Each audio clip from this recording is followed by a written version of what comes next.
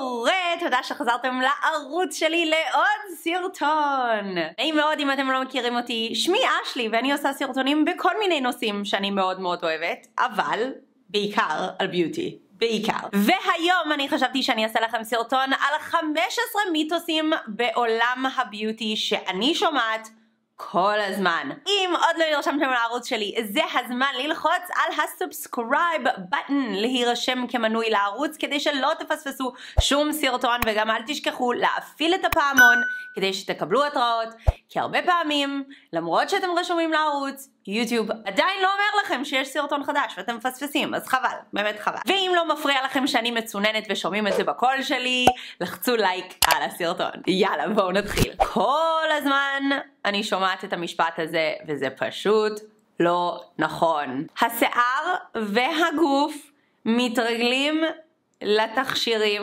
שאתם שמים. מכירים את זה?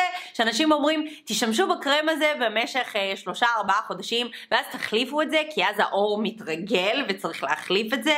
אז לא, אין דבר כזה. האור לא מתרגל, השיער לא מתרגל, אנחנו לא מתרגלים לתכשירים. זה כמו שתגידי, תאכלי אוכל בריא, באיזשהו שלב הגוף שלך יתרגל לזה וזה כבר לא יעשה לו טוב. לא, זה, זה ממש אותו דבר. אם מצאתם משהו שעובד טוב בשבילכם, אני ממליצה די להישאר עם זה. המיתוס השני זה מיתוס שיצא לי קצת לגעת בזה בחודש האחרון, אבל אני אדבר על זה שוב. אני שומעת הרבה פעמים אנשים אומרים צריך לקנות תכשירים היפואלרגנים, או הרבה פעמים שואלים אותי אם תכשיר ככה וככה הוא היפואלרגני. Phony, fake. תקשיבו, המילה הזאת היפואלרגני זה מילה באמת באמת שיווקית כי אי אפשר לשים חותמת על תכשיר שמי שינסה את התכשיר הזה כל האנשים בעולם לא יהיה אפילו בן אדם אחד שיהיה אלרגי לאחד הרכיבים בפנים. מה שכן יש זה בעצם מרכיבים שלרוב אין נטייה להרבה אנשים להיות אלרגיים אליהם. לכן אנשים מרגישים בנוח לרשום היפואלרגני בעצם על המוצר.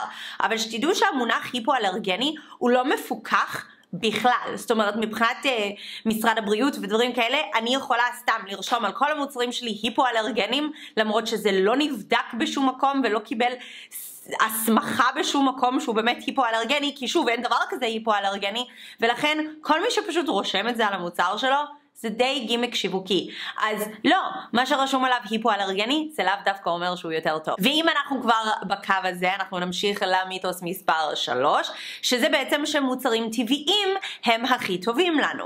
אז קודם כל אני רוצה אה, שנדייק פה מה ההבדל בין משהו טבעי למשהו סינתטי או כימיקלי. תחשבו טוב, מים זה סוג של כימיקל, כן? כי זה ערבוב של כמה דברים טבעיים, וברגע שאנחנו מערבבים כמה דברים טבעיים, אנחנו בעצם הגענו לקמיקל, למשהו כביכול שהרכבנו, שהוא סינתטי, שהוא כבר לא טבעי כמו ש... הוצאנו אותו מהאדמה. אני מקווה שזה מסביר לכם קודם כל את ההבדל בין בכלל מה סינתטי ומה טבעי. והרבה פעמים יש מרכיבים טבעיים לגמרי שהם יכול, יכולים לעשות גירוי משמעותי לאור. אני אתן לכם דוגמה, poison ivy. איך אומרים poison ivy בעברית? Google Translate. אוג ארסי, או אוג ארסי. צמח שהוא מאוד מאוד מאוד רעיל וכשהוא נוגע בעור שלנו אז לכולנו יש פריחות וגירויים וכולי אז כמו ה... אוג הארסי, יש עוד מלא מרכיבים טבעיים לחלוטין שיכולים לעשות גירוי לעור שלנו. אני אתן לכם עוד דוגמה, מנטה, הרבה פעמים יש מנטול בטיפוח וזה בעצם עושה גירוי לאור. זה שזה טבעי לאו דווקא אומר שזה יותר טוב. ההפך אפילו הרבה פעמים נכון, יש המון המון דברים שהם כביכול סינתטיים ומהונדסים אבל הם נהדרים, רטינול וחומצות מסוימות שאנחנו... משתמשים בהם בטיפוח, ומקדמי הגמנה שהם לאו דווקא תמיד הכי טבעיים, אבל הם בכל זאת מגינים על האור שלנו, אז כן. טבעי לא שווה יותר טוב תמיד. עוד אחד שאני שומעת הרבה, איפור גורם לאקנה. לא!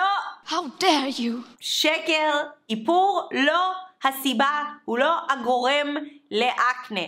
אקנה קורה בגלל שיש חיידק פעיל בעור, לחיידק קוראים פיאקנס. זה משהו שקורה בסוג עור מסוים, וכשבעצם הגבוביות שלנו סתומות, מלוכלכות, אז בעצם החיידק הזה יכול לפרוח ולצמוח וכולי, ולכן אם אנחנו לא מנקים את העור כמו שצריך, אז אנחנו יכולים לראות פיצונים. אז האיפור עצמו זה לא מה שגורם לאקנה, אבל אם אנחנו לא מנקים את האיפור כמו שצריך בסוף היום, ויש לנו את החיידק הזה בעור, אז אתם יכולים להיות בטוחות במאה אחוז יהיו לכם הרבה פיצונים. איפור הוא לא הגורם לפיצונים. לא. המיתוס הבא זה לגבי מחיר. לשני הכיוונים, אני רוצה להגיד. אז כן, מה שיקר יותר לאו דווקא אומר שהוא טוב יותר, אבל גם הפוך. הרבה פעמים אנשים כאילו כבר נתפסים לדבר הזה שמחיר אומר רק בקבוק יוקרתי או רק מותג ולכן אני אלך לכיוון השני ואני אקרא רק מה שזול. אז אני רוצה להגיד לכם שמחיר בדרך כלל הוא לא ממש הפקטור מבחינתי לאם תכשיר הוא טוב או לא. פה צריך נטו להסתכל על הפורמולה, על המרכיבים, מה יש בפנים.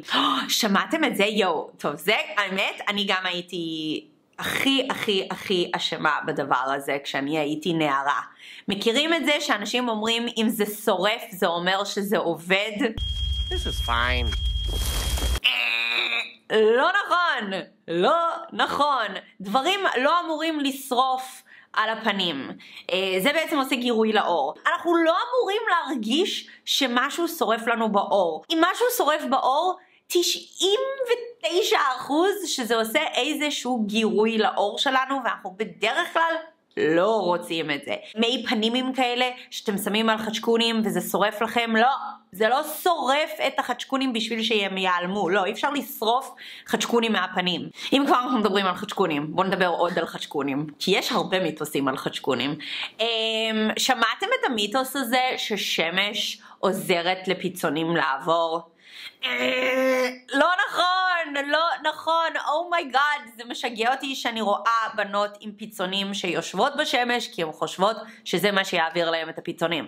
ואני אומרת את זה ואני מרשה לעצמי להגיד את זה כי אני לגמרי הייתי אחת מהם, שהיו לי פיצונים והייתי צעירה, סיפרתי את זה לא מעט פעמים בערוץ שלי, הייתי שוכבת ושורפת, מטגנת את עצמי בשמש כי הרגשתי שני דברים, אחד שהשמש באמת מייבש את הפיצונים, ושתיים, שהגוון השזוף מטשטש את המראה של הפיצונים על הפנים. אבל למעשה, השמש לא מייבשת את הפיצונים, היא מייבשת את האור, וכשאנחנו מייבשים את האור שלנו, הבלוטות החלב שלנו מייצרות עודף שומנים, ולמעשה אנחנו בעצם גורמים ליותר אקנה. לא, אל תעשו את זה. אתם uh, בטוח שמעתם את זה, שאם יש לך אור יבש, את סובלת מאור יבש, את פשוט מיובשת ואת צריכה לשתות יותר מים. אז לא, מיתוס, אין קשר לכמות המים שאת שותה לבין מה שבלוטות החלב שלך בעצם מפרישות על מנת שלא יהיה לך אור יבש. אין קשר, אחד זה מים, אחד זה שמן. אנחנו כבר יודעים. אין קשר בין מים ושמן. אם היה אפשרי לשתות הרבה מים כדי שהאור שלנו לא יהיה מיובש, אז תאמינו לי, לא היה צורך בכל העולם הזה של טיפוח וקוסמטיקה, פשוט כולנו היינו שתים מים, וזהו. צריך לשתות כמות טובה של מים ביום יום כדי לנקות את הגוף, כדי שכל התהליכים בגוף שלנו יעבדו כמו שצריך, ואם הכל עובד כמו שצריך, זה גם יכול להשפיע באמת על איך העור שלנו נראה. אבל שתייה של מים לא מעביר יותר לחות לאור, ממש לא. והאמת שזה מתקשר עם המיתוס הבא, באמת אני כבר לא יכולה לשמוע את עצמי מרוב שאני חופרת על הנושא הזה, אבל בכל זאת יש אנשים שמגיעים לסרטונים בודדים שלי ולא רואים כל סרטון, אז חשוב שאני אגיד את זה שוב. עור שהוא שמנוני עדיין צריך לקבל לחות. אם הוא לא מקבל לחות, הוא יהיה עור שמנוני מיובש. וזה מה שיש להמון המון המון המון המון המון המון המון נשים בארץ.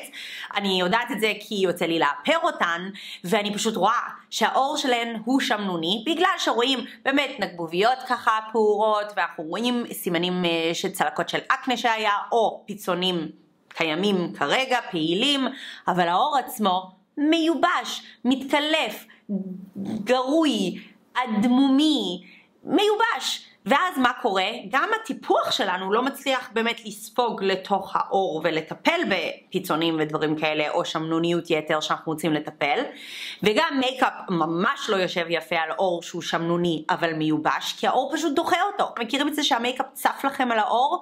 אם המייקאפ צף לכם על העור, רוב הסיכויים שיש לכם עור מיובש, שמנוני ומיובש. כי אם יש לכם עור יבש, אז הוא פשוט נתפס על האזורים היבשים. עור שמנוני עדיין צריך לקבל לחות. אם הוא לא מקבל לחות, הוא מייצר באופן עצמי, כסוג של מנגנון אה, הגנה עצמית, הוא מייצר עוד ועוד ועוד שומנים, ואנחנו נכנסים לתוך מעגל של אור שמנוני שמיובש, שמייצר עוד ונהיה יותר שמנוני ויותר מיובש, and you get the point. אין קרם שיכול להעלים קמטים. לא.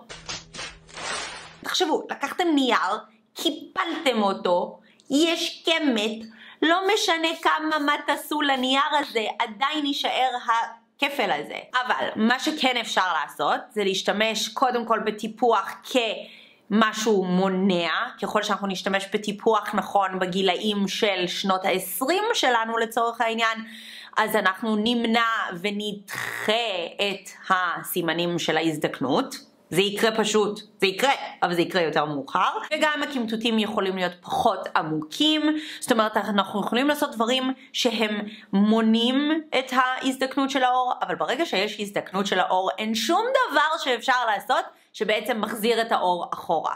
יש רק דבר אחד שאפשר לעשות כדי באמת להעלים קמטים, שזה הזרקות של בוטוקס, חומצה הילורונית, כמובן מתיחת פנים.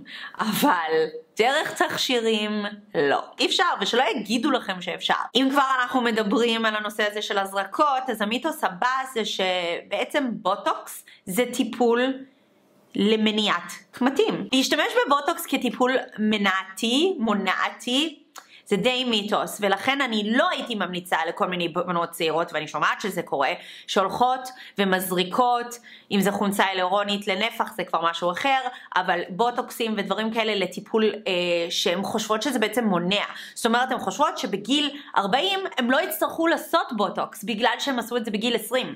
זה לא נכון, זה ממש לא נכון. עדיין בגיל 40 אם את רוצה לעשות בוטוקס, את תעשי בוטוקס. זה שעשית ב-20 לא מנע את זה שתצטרכי לעשות בגיל 40 או 50, אני מרגישה שאני חוזרת על עצמי, אז בואו נעבור לדבר הבא. המיתוס הבא מגיע מהאמת שאלה אמיתית שעדן שעובדת uh, ב- AWB Makeup שאלה אותי לפני כמה ימים, היא באה אליי והיא אמרה לי, אשלי, אני בת 25 ואני מרגישה שעכשיו שהגעתי לגיל 25 אני צריכה לשנות את שגרת הטיפוח שלי. אז אולי תעשי סרטון על כאילו שגרת טיפוח לבנות בנות 25. ואז זה גרם לי לחשוב. רגע, אבל כאילו אמרתי לה, אבל אני לא יכולה באמת לענות לך, כי בסרטון, כאילו אני יכולה לענות לך, אבל בסרטון זה לא רלוונטי, כי זה שמי שהגיע לגיל 25, זה לא אומר שפתאום עכשיו כולם בגיל 25 צריכים להשתמש באותם תכשירים. אז אני אגיד שהמיתוס כאן זה שגיל זה לא סוג אור, וכשאתם בעצם הולכים למותג ורוצים לקנות משהו והם בעצם משווקים סדרה לפי שכבת גיל, זה פשוט לא נכון, זה פשוט מיתוס. גיל 40 זה לא סוג אור. אישה שהיא בגיל 40 יכול להיות שיש לה אור סופר שמנוני, אפילו פעיל הורמונלי ויש לה עדיין פיצונים, ויכול להיות שיש אישה בגיל 40 שיש לה אור מאוד מאוד יבש, עם מלא פיגמנטציה, עם מלא גירוי, עם סבוריה, עם רוזציה, זאת אומרת, גיל זה לא סוג אור, ואתם צריכים לקבל אבחון ולהתאים מוצרים על פי סוג האור ולא על פי הגיל. זה משגע אותי שאנשים שואלים אותי איך אפשר להקטין נגבוביות? אי אפשר! אי אפשר להקטין, זה כמו שאני אשאל אתכם איך אפשר להקטין את האצבע? אי אפשר. זה אזור בגוף, אי אפשר להקטין אותו, זה כאילו, זה, זה מה יש, זה מה יש, יש, יש חור קטן בתוך האור שלנו, שבעצם האור כאילו נושם כביכול דרך הנגבובית, כאילו זה לא יכול לגדול, להתכווץ. כל תכשיר שאומר שהוא מכווץ נגבוביות, זה לא נכון. פריימרים שאומרים שהם מכווצים נגבוביות, שקר. מה שהם בעצם עושים זה שהם ממלאים את הנגבוביות כדי שכשנשים את המייקאפ מעל, הוא יחליק יותר יפה מעל ואנחנו כאילו בעין פחות נראה אותם. תכשירים שמנקים את הנגבובית מבפנים בעצם נותנים לנו מראה של נגבוביות שאולי קצת יותר מכווצות, כי ברגע שיש לכלוך תקוע בנגבובית, אז העין נמשך לשם ואנחנו רואים את זה ושמים לב לגודל של הנגבובית, אבל ברגע שהנגבובית נקייה וכל האור נראה נקי וזוהר, אנחנו פחות שמים לב לזה. הרבה אנשים שאלו אותי איך אני הצלחתי להקטין לעצמי את הנגבוביות. אני לא הצלחתי להקטין אותם, הם כאן, הם פשוט חלקות יותר, הם נקיות יותר, אני מטפחת בעור שלי יותר טוב היום מלפני חמש או שש שנים, ולכן אולי בסרטונים זה נראה כאילו העלמתי את הנגבוביות, אבל לא, אי אפשר לעשות דבר כזה, זה חלק מהעור שלי, זה חלק מהגוף שלי. המיתוס הבא, דיברתי על זה בסרטון שבעצם ניסיתי יחד איתכם להתגלח בפנים בפעם הראשונה. והתייחסתי לזה, אני אתייחס לזה עכשיו שוב. זה משהו שאולי לא ישנה לכם את החיים עכשיו שאתם יודעים את המידע הזה, אבל בכל זאת זה מיתוס ואני רוצה להתייחס. Uh, המיתוס הוא ככה, שכשאנחנו בעצם מגלחים שיער הוא גדל בחזרה יותר מהר, יותר כהה ויותר עבה. זה לא נכון. יש לנו שערה, ובעצם החלק הכי פנימי של השערה, סקיק השערה, איפה שזה בעצם מתחיל בתוך העור שלנו, זה האזור הכי דק של השערה. ואז השערה לאט לאט גדלה גדלה גדלה, נהיית כהה יותר ועבה יותר, ואז היא יוצאת מהעור, ואז היא ממשיכה לגדול, לגדול, לגדול, והיא מסתיימת ביותר אה, בהיר בגלל שכבר יש לה חשיפה של שמש וכולי, היא כבר מתבהרת, ונגמרת במין סיב דק כזה. ולכן כשאנחנו בעצם באים וחותכים את השיער באזור הכי עבה, הכי כהה שלו, ממש באזור איך שהוא יוצא מהאור שלנו, אז כשהוא קצת צומח, אנחנו בעצם רואים את, ה, את השערה הכי עבה והכי כהה. אבל זה לא אומר שמשהו השתנה בפועל לשערה. ולכן אם אנחנו נתגלח שוב ושוב ושוב ושוב ושוב, אנחנו כל פעם באמת נראה את האזור הזה. אבל אם אנחנו נתגלח ואז נחליט שאנחנו לא רוצים יותר להתגלח, זה לא היה בשבילנו, ואנחנו נשאיר את זה, השערה תמשיך לגדול, לצמוח והכל יחזור לקדמותו. ולכן אני באופן אישי לא פחדתי להתגלח בפנים בפעם הראשונה, כי אמרתי מקסימום אני לא אראה איך זה נראה, אני לא אוהב איך זה נראה, אני יכולה פשוט להפסיק לעשות את זה והכל יחזור לעצמו. ואני חייבת להגיד לכם שבמהלך ההיריון שלי הפסקתי אה, לתקופה לגלח את הפנים כי הרגשתי שאני פשוט לא צריכה והכל חזר לקדמותו ועכשיו חזרתי לגלח את הפנים כי פשוט התגעגעתי לתחושה של איך מייקאפ יושב על זה וזה נראה מדהים וכן, בקיצור, לא צריך לפחד מזה.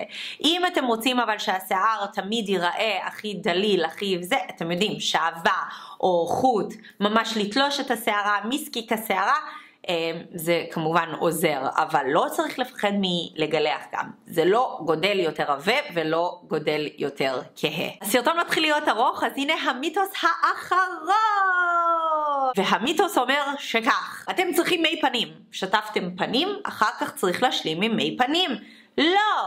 מיתוס! לא צריך! ואפילו פעם, כל המי פנימים האלה ה... אה, של פעם אני אקרא לזה, של שנות התשעים, של שנות האלפיים, הם היו מפוצצים באלכוהול, באנגלית אומרים astringent, הם היו באמת שורפים קצת את הפנים, וכל הקטע שלו זה היה כאילו לאזן את רמת ה-pH בעור, אבל היום יש לנו פשוט סבונים שלא מוציאים את רמת ה-pH בעור, ולכן לא צריך את העוד שלב הזה בטיפוח. מה שכן, יש המון המון המון מרכיבים נהדרים שאנחנו יכולים להניח או בעצם להשלים את שגרת הטיפוח שלנו בשימוש של מי פנים. מה הכוונה? יש הרבה פעמים מי פנים שיש בתוכו אה, חומצה גליקולית לצורך העניין. אז אם אני משתמשת בסרום של אה, ויטמין C וקרם לחוט אה, עם אה, חומצה הילורונית, אז אולי אני רוצה להשלים גם חומצה גליקולית לשגרה שלי, אבל כבר יש לי סרום וקרם, אז אני אעשה את זה בצורה של מים. סתם דוגמה לצורך העניין. אז אני כן משתמשת בכל מיני תכשירים שהם מגיעים בצורה של מים, אבל לא צריך מי פנים בשגרת הטיפוח שלנו. אלה 15 המיתוסים שלי שריכזתי בשבילכם היום. סמכו עליי, יש עוד כל כך הרבה מיתוסים בתחום הביוטי, שאם הייתם רוצים לראות עוד סרטון כזה, תרשמו לי למטה בתגובות, תגידו לי אם זה חידש לכם משהו. זה הזמן שלי להזכיר לכם, שוב, כמו בתחילת הסרטון, להירשם לערוץ, להפעיל את הפעמון וללחוץ לייק אם אהבתם את הסרטון ואם לא הפריע לכם שאני קצת מצוננת. אני אוהבת את כולכם ואנחנו ניפגש בסרטון הבא. Love you guys, bye!